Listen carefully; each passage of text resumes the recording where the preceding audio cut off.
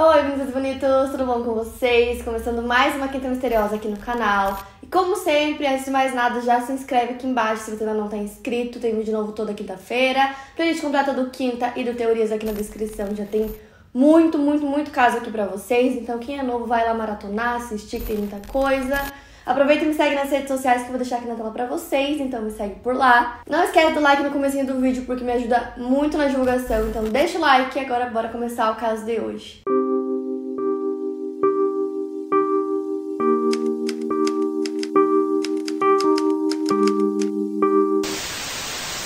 Natalie Nikolavna Zakarenko nasceu no dia 20 de julho de 1938 em São Francisco, Califórnia, filha de imigrantes russos. Pouco depois de nascer, sua família se mudou para Santa Rosa. Sua mãe Maria sonhava em ser bailarina ou uma atriz de cinema. Ela levava Natalie para o cinema o tempo todo para ela ver as crianças atuando. Muitos acreditam que ela fazia isso porque nunca conseguiu realizar o seu sonho e quem sabe a filha conseguisse. Além disso, ela também colocou a Natalie em aulas de balé. Em Santa Rosa, Natalie conseguiu o seu primeiro papel aos 4 anos de idade. Ela conseguiu uma cena no filme Happy Land de 1943, que estava sendo filmado na cidade que ela morava na época. De alguma forma, a mãe da Natalie conseguiu apresentar ela para o diretor Arvin Pitchell, e a Natalie se lembra da mãe dela dizendo para ela fazer o Sr. Pitchell amá-la. Então, logo que ela começou a fazer pequenos papéis, dois executivos dos estúdios Radio Pictures decidiram dar o nome artístico de Natalie Wood para ela. A Natalie conquistou o coração do público com seu pequeno papel de órfã no drama de 1943 1946, Tomorrow is Forever. Em 1947, aos 8 anos de idade, ela conquistou novamente os fãs com seu primeiro papel principal em Miracle on 34th Street. O filme é sobre uma garota que questiona a existência do Papai Noel e esse filme fez da Natalie uma estrela. E a Natalie tinha muito medo de água. É, teve uma vez, quando ela ainda era criança, uma vidente falou para ela que ela morreria afogada. Então ela ficou ainda com mais medo. E aos 10 anos de idade, a Natalie estava gravando o filme The Green Promise e ela tinha que fazer uma cena onde ela atravessava uma ponte cenográfica Embaixo dessa ponte tinha água, então era um cenário bem grande, assim. Ela tinha que passar nessa ponte, ela tava com medo. E a mãe dela falou pra ela ficar calma, que ia ficar tudo bem, que era seguro. Só que na hora de gravar a cena, a Nathalie tava atravessando a ponte e a ponte quebrou antes do previsto, então ela caiu na água, começou a se afogar. E aí ela tentou se segurar é, nos galhos que tinham é, no cenário ela acabou quebrando o pulso. Então ela já tinha muito medo de água, depois disso ela ficou com fobia. E ela também sonhava o tempo todo que ela estava se afogando, então ela tinha muito medo de água e principalmente de águas escuras. Aos 15 anos de idade, a Natalie teve seu primeiro namorado chamado Jimmy Williams. E a mãe da Natalie sempre foi super controladora em todos os aspectos possíveis na vida dela então era a mãe dela quem tomava todas as decisões. Ela começou a trabalhar com 4 anos de idade e todo o dinheiro da família vinha do trabalho da Natalie. Então quando ela começou a namorar o Jimmy, a mãe dela conseguiu convencer a Natalie de terminar com ele porque ela achava que isso ia atrapalhar sua carreira. Aos 16 anos, Natalie começou a gravar um dos seus filmes mais famosos, o Rebel Without a Cause. Nesse filme, ela ganhou uma indicação ao Oscar por seu trabalho e ela contracenou com James Dean. No mesmo ano, dizem que ela se envolveu com o diretor Nicholas Ray, de 43 anos. Então, falando um pouco mais sobre sua carreira, como atriz contratada, a Natalie às vezes tinha que fazer alguns filmes que ela não queria. E a sua mãe também a pressionava. Um dos seus projetos menos favoritos foi The Searchers, de 1956. Natalie sentiu que tinha sido mal interpretada como uma garota branca que foi sequestrada e depois criada por nativos americanos. Em 1961, ela estrelou em Splendor in the Grass, e nesse papel ela mostrou grande variedade como uma jovem emocionalmente frágil e levada à loucura. E ela também interpretou a personagem principal principal do filme Gypsy de 1962, que é um musical sobre a stripper Gypsy Rose Lee. Ela recebeu três indicações ao Oscar antes de completar 25 anos de idade. A Natalie acabou se tornando um sucesso nas revistas para fãs de estrelas de cinema. Ela teve vários relacionamentos públicos e secretos com atores, colegas e outras estrelas. Ela namorou o ator Dennis Hopper, o herdeiro da dinastia do hotel Nick Hilton, e até teve um breve romance com o cantor Elvis Presley. E a sua mãe, preocupada com a carreira e com a vida amorosa da filha, conseguiu organizar um encontro da Natalie com o ator Robert Wagner, pois ela sabia que ele era um dos atores favoritos favoritos da filha. Os dois começaram a namorar e isso também atraiu muita cobertura da mídia. A estrela que tinha 18 anos casou-se em 1957 com Robert, que tinha 26 anos na época. O casal se tornou um assunto favorito nas revistas de fãs. Nessa época, Natalie começou a tomar muitos remédios para controle de peso. O casamento durou 5 anos e eles se divorciaram em 1962 E aí começaram a surgir vários rumores do porquê do divórcio deles, e muitos desses rumores falavam sobre uma possível infidelidade do Robert, e a Natalie sempre negou é, esses rumores, porém a irmã dela, Lana, e as duas eram muito próximas, confirmou que era verdade, que esse era o motivo do divórcio deles. Natalie sempre foi muito controlada pela mãe e sempre teve a vida pessoal muito exposta por ser uma grande estrela. Mesmo depois de anos de terapia, a Natalie chegou a um ponto de profundo desespero em 1966. Ela tentou se matar por overdose naquele ano e, como parte da sua recuperação, ela fez uma pausa nos filmes. Em 1969, ela se casou com o escritor e produtor Richard Gregson. O casal teve uma filha chamada Natasha. Ainda em 69, a Natalie voltou ao cinema com a comédia de Bob Carroll e Ted Alice. E em 1972, ela se divorciou do Gregson e decidiu se casar novamente com Robert Wagner. A atriz contou que a vida inteira disseram o que fazer e ela sentia que só agora estava conhecendo a si mesma. O casal teve uma filha chamada Courtney, nascida em 1974. Dessa vez, a Natalie parecia dedicar mais tempo à sua família do que à sua carreira. A Natalie voltou a atuar em 1976. Em 1981, ela trabalhou em seu último filme chamado Brainstorm, um thriller de ficção científica ao lado do ator Christopher Walken. E agora que eu já contei para vocês bastante sobre a vida dela, nós vamos entrar no caso. Em novembro de 1981, a Natalie e seu marido Robert convidaram o ator Christopher Walken para curtir o final de semana no iate do casal. Então foram os três mais o capitão Dennis Davern que já trabalhava para o casal há anos e era considerado da família. Eles foram para a Ilha Catalina, na Califórnia, em seu iate Splendor. E um fato que é interessante eu contar para vocês antes de continuar é que o Robert era muito ciumento. Então, para vocês terem ideia, quando a Natalie estava gravando esse último filme com o Christopher, o Robert voou até o local onde eles estavam gravando só para ele ter certeza que não tinha nada acontecendo entre os dois. Mas a Natalie também tinha ciúmes do Robert com a Stephanie Powers, eles eram um casal em Heart to Heart. O iate partiu no dia 27 de novembro, ao meio-dia, e todos eles beberam no iate, inclusive o capitão. E ele conta que naquele dia, depois de algumas horas, a Natalie e o marido começaram a discutir, ao ponto que ela pediu para o capitão levar ela para um hotel que tinha ali perto. E no iate deles tinha um bote inflável que era motor e tal, então o capitão levou a Natalie nesse bote até o hotel e os dois ficaram por lá naquela noite. Então os dois dormiram no Pavilion Lodge Hotel enquanto o Robert e o Christopher ficaram no iate. Então no sábado pela manhã os dois voltam pro iate e aí o Christopher fala que por ele ele fica o final de semana no iate curtindo. Então a Natalie decide ficar também e aí os ânimos se acalmam. Então nesse mesmo dia, os dois, a Natalie e o Christopher, foram para um restaurante e bar próximo chamado Doug's Harbor Reef. Mais tarde, o Robert e o capitão Davern foram para lá também. Uma funcionária do restaurante contou que o grupo bebeu muito, eles beberam duas garrafas de vinho, duas garrafas de champanhe, vários drinks. E ela contou que no jantar a Natalie comeu muito pouco, que ela parecia mal-humorada e quando ela saiu do restaurante ela parecia estar tropeçando e sem equilíbrio. Então os quatro voltam pro iate por volta das 10 da noite. E aí o Robert conta que ele e o Christopher começaram a ter uma discussão sobre política e que essa discussão tinha começado no restaurante e continuado no iate, mas que não foi nada demais, eles estavam discutindo assim normalmente, no sentido que não teve briga e não teve nada demais. Então ele conta que a Natalie estava junto nesse momento, mas ela parecia super entediada com a discussão dos dois, então ela foi para outra parte do iate, na parte que ficavam os quartos. Então, segundo a versão do Robert, cerca de uma hora depois disso, ele foi até o quarto da Natalie no iate para dar boa noite para ela, mas quando ele chegou no quarto, ela não estava lá. E aí ele procurou pelo iate e ela não estava em lugar algum. À uma e meia da manhã, o Robert e o capitão Davern fazem uma ligação para a guarda costeira para falar sobre o desaparecimento da Natalie. Os dois pareciam bem preocupados. Só que assim, gente, tem várias versões é, sobre o que realmente aconteceu no iate. Essa é a versão do Robert. Na versão do Capitão, ele já conta as coisas de uma forma um pouco diferente. Então, segundo a versão do Capitão, é, o Robert naquele dia ele estava muito estressado, ele acabou quebrando uma garrafa de vinho.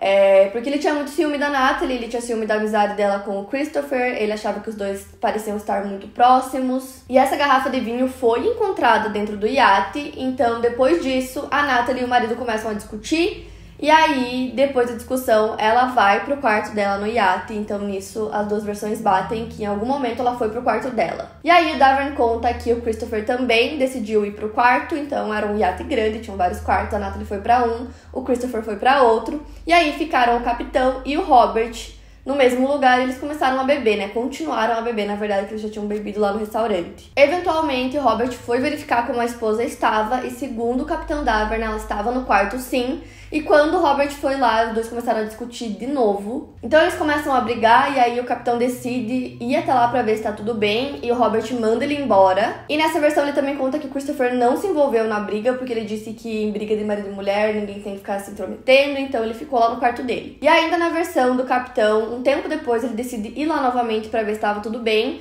Então ele vai até a parte de trás do iate. Quando ele chega lá, o Robert tá nos degraus e o bote esse mesmo bote que eles usavam para é, ir até o hotel ou ir até o restaurante não estava mais lá e a Natalie também não estava lá. Então, segundo ele, foi esse o momento em que eles ligaram para a guarda costeira a uma e meia da manhã. O corpo da Natalie foi descoberto na manhã seguinte, dia 29 de novembro de 1981, às sete e meia da manhã, flutuando na água a mais de um quilômetro do iate. O bote estava nas proximidades, preso nas pedras. Quando eles foram investigar o bote, eles descobriram que ele estava completamente desligado, o que pode significar que ela nunca tenha chegado a ligar o bote de fato. Ela estava vestindo uma camisola, uma jaqueta vermelha e meias azuis. A atriz de 43 anos tinha algumas contusões leves nos braços e pernas e um corte na bochecha. E o capitão Davern disse que quando encontraram o corpo, ele ficou para identificá-lo e não o marido da Natalie. Ela também tinha quantidades significativas de álcool em seu sangue, juntamente com um comprimido para evitar enjoos e um analgésico conhecido por exacerbar os efeitos da intoxicação alcoólica. Foi revelado que ela e o marido discutiram e as teorias apontam que ela subiu em um bote enquanto estava bêbada e pode ter batido a cabeça. A causa da morte, a princípio, foi considerada por afogamento e hipotermia. Os três homens que estavam com ela no iate foram interrogados e contaram aos investigadores a mesma versão de que ela acabou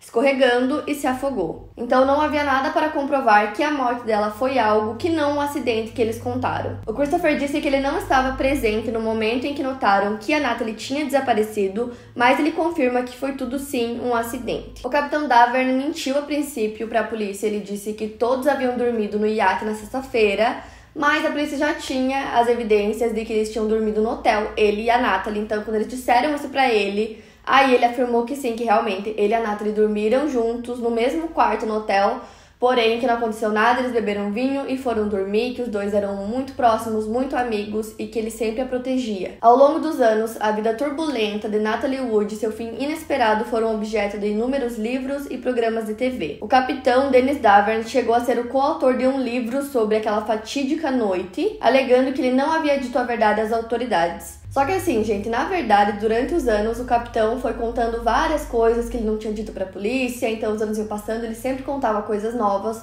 até que ele finalmente mudou a versão dele em 2011, e eu vou contar isso pra vocês dentro de uma das teorias. Então agora, Vamos entrar nas teorias do que realmente aconteceu com a Natalie naquele dia. A primeira teoria é a de que a Natalie tinha bebido muito naquele dia e por algum motivo, talvez por estresse, pela briga com o marido, ela decidiu que ela não queria ficar no iate, então ela teria tentado subir no bote para sair dali e aí teria escorregado e caído no mar e se afogado. O médico que examinou o corpo até falou sobre a possibilidade é, dela não ter conseguido voltar pro bote porque ela tava usando uma jaqueta e a jaqueta molhada ficou muito pesada na hora ela não conseguiu raciocinar para tirar a jaqueta, então seria ainda mais difícil conseguir voltar pro bote. E também tinham vários arranhões no bote, o que poderiam indicar que ela tentou subir nele, mas não conseguiu. O que explicaria a causa da morte ter sido afogamento, hipotermia e até mesmo exaustão. Mas a irmã da Natalie, Alana, desmentiu essa teoria dizendo que ela tem certeza que isso não aconteceu porque a irmã dela tinha pavor de água, principalmente águas escuras.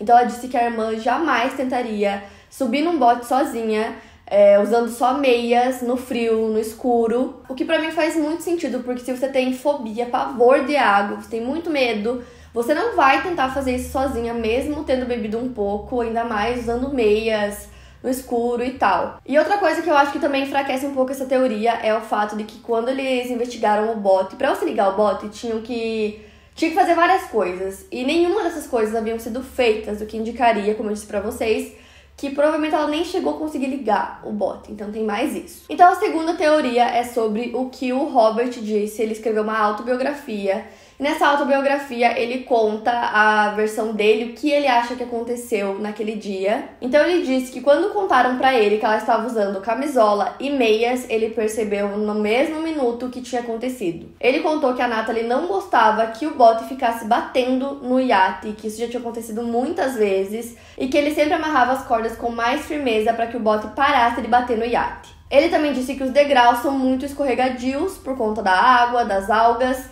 ele disse que ela provavelmente escorregou e bateu a cabeça no bote e acabou afundando na água. O médico que examinou o corpo foi uma das pessoas que contestou essa teoria, dizendo que o bote era de borracha e que se ele batesse no iate o barulho seria mínimo. Fora que as evidências forenses também provaram que as escadas estavam intocadas, o que faria mais sentido se Natalie estivesse tentando entrar no bote ao invés de ajustar as cordas, como ele tentou explicar é, no livro dele sobre, segundo ele, o que teria acontecido.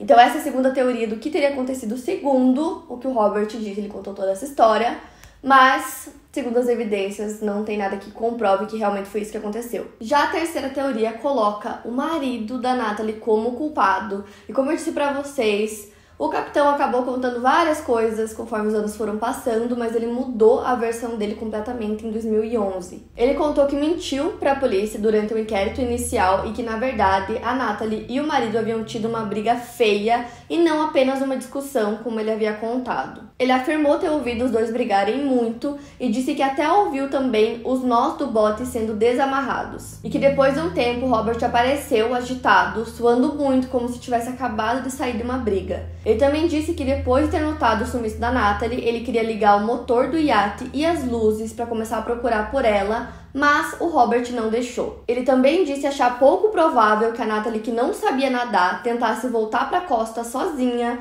no bote. Se ela quisesse fazer isso, ela teria pedido a ele da mesma forma como ela fez na sexta-feira. Então ele alegou que o responsável pela morte da Natalie foi o marido dela. Porém, nove meses de investigações não revelaram evidências suficientes para comprovar se essa versão nova do capitão é verdadeira. Mas como o caso foi reaberto em 2011, apareceram novas testemunhas que também estavam ali no mar, nas Ilhas Catalina, e disseram ter ouvido alguns gritos, disseram ter ouvido pedidos de socorro e barulho de coisas quebrando vindo do iate da Natalie.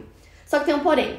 Tinha o iate da Natalie, tinha esse barco dessas testemunhas e tinha mais um iate próximo que tava rolando uma festa, então tinha muito barulho, música alta. E aí, segundo essas testemunhas, porque tinha essa festa acontecendo ali perto com muito barulho, eles não acharam que era nada demais aqueles gritos que eles supostamente ouviram. Mas assim, é, pode ser que eles tenham ouvido realmente alguma coisa, pode ser que não, pode ser que eles pensaram que ouviram algo. Então é muito difícil de dizer se realmente eles ouviram pedido de socorro ou se era algum barulho que estava vindo do outro barco e às vezes não tinha nada a ver, né? Enfim. E outro detalhe que eu quero citar para fechar é que lembra que eu falei para vocês que tinha uma garrafa de vinho quebrada que foi encontrada no iate. Quando Robert foi interrogado, ele disse que essa garrafa caiu sozinha porque o iate balançava muito e a garrafa caiu e quebrou. Porém, o capitão disse que quem quebrou a garrafa foi o Robert em um acesso de raiva, e aí na autobiografia dele, ele confirmou que realmente foi ele quem quebrou a garrafa. Ou seja, naquele primeiro momento ele mentiu para a polícia dizendo que a garrafa quebrou sozinha e depois ele confessou que ele realmente quebrou num acesso de raiva. Então, se teve um acesso de raiva, pode ser que talvez os gritos que ouviram realmente tenham acontecido. Então, essas são as teorias e agora eu vou contar para vocês algumas informações adicionais desde que o caso foi reaberto. Em novembro de 2011, o Departamento do Xerife do Condado de Los Angeles anunciou que reabriria a investigação sobre a morte de Natalie Wood depois de receber novas informações. Segundo o investigador de Los Angeles, Robert Wagner se recusou a falar com as autoridades quando reabriram o caso. O xerife John Corina disse entre aspas: "O Robert foi o último a estar com a Natalie Wood e de alguma forma ela acabou caindo e se afogando na água. Pela investigação que fizemos do caso nos últimos seis anos, Penso que nesse momento o Robert Wagner é mais uma person of interest do que era no passado. O termo norte-americano person of interest, sem tradução literal, descreve alguém que, não tendo sido condenado ou sequer formalmente acusado de um crime, poderá ter peso decisivo na resolução de uma investigação em curso, sendo potencial suspeito. Em junho de 2012, um ano depois da reabertura do caso, o Departamento Policial de Los Angeles alterou a causa da morte de afogamento acidental para afogamento e outros fatores indeterminados. Os ferimentos no corpo da Natalie, a princípio, foram dados como feitos na queda na água e na tentativa de subir de volta ao bote. Mas ainda em 2012, o médico-chefe disse que provavelmente pelo lugar dos ferimentos e a falta de trauma na cabeça, indicam que esses ferimentos deveriam estar no corpo dela antes dela cair na água. Ou seja, provavelmente de uma briga, de uma discussão, pode ser que ela tenha sido agredida. Segundo ele, devido à falta de evidências suficientes para avaliar com precisão, a causa da morte dela deve ser dada como indeterminada. No início de 2018, foi revelado que os investigadores tentaram conversar com Robert Wagner, com a Person of Interest, devolvendo o caso de quase 40 anos de volta às manchetes, mas como eu disse para vocês, ele se recusou a falar. Então essas são as últimas informações informações sobre a investigação, mas o que realmente aconteceu com a Natalie naquele dia permanece um mistério. Então, será que ela realmente caiu, escorregou na água e se afogou? É, ela tinha ferimentos leves no corpo, então será que nessa briga com o marido ele acabou agredindo ela? Será que ela realmente tentou desamarrar o bote para subir no bote e sair dali? Será que o marido empurrou ela na água? O que realmente aconteceu naquele dia é um mistério e eu quero muito saber o que vocês acham. Qual dessas teorias vocês acham que é a verdadeira ou se vocês criaram outra teoria? Comenta aqui pra mim que eu quero saber. Eu não sei o que pensar, gente. Tem tantas opções do que pode ter acontecido naquele dia. Mas o que eu acho que não aconteceu foi que ela escorregou sozinha e tentou entrar no bote, mesmo não sabendo nadar, e aí morreu afogada. Eu acho que essa com certeza não foi o que aconteceu, então me contem aqui embaixo. Não esquece do like aqui pra mim se você gostou do vídeo, se inscreve aqui no canal se você ainda não tá inscrito. Me acompanhe nas redes sociais que eu vou deixar aqui na tela pra vocês. E é isso, gente. Eu vejo vocês no próximo vídeo.